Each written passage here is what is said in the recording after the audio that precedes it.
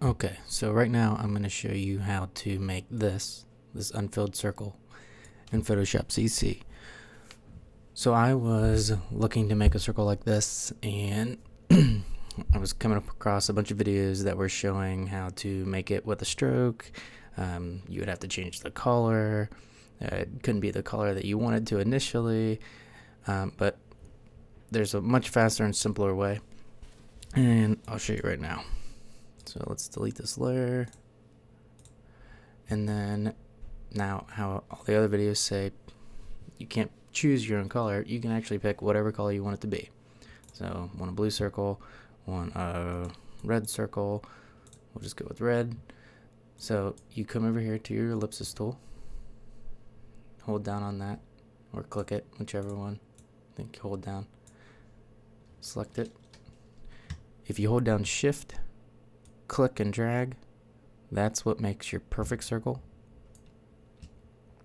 Now, after that, what you do is you come over here to the selection tool. So you can either click it or hit A for the short key.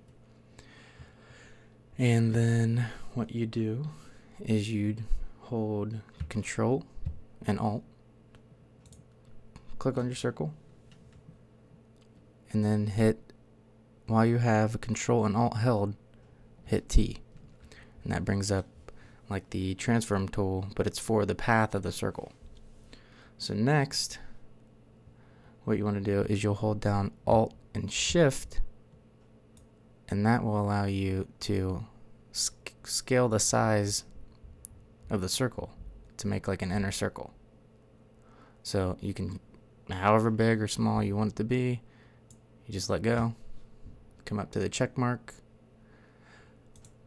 check it off, and then in the ellipsis uh, tool in the options for it, right here, you have the path, path operators.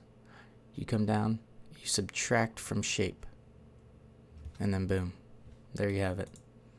Didn't have to use a stroke, didn't have to change colors. It was red like I wanted it to, and that's how you do it.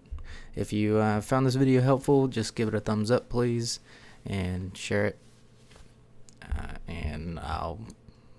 I don't make many videos. I just made this just to show everybody.